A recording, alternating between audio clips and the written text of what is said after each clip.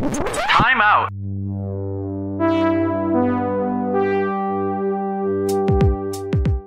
Man, it's so cool.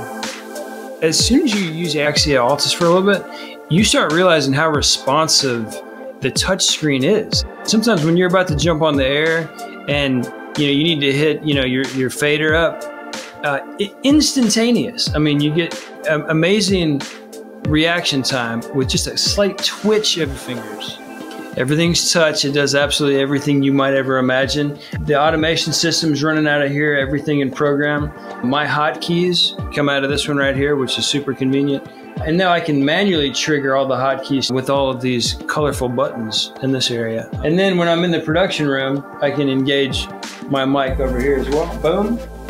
And um, my guest mics. It's just awesome. And we're out.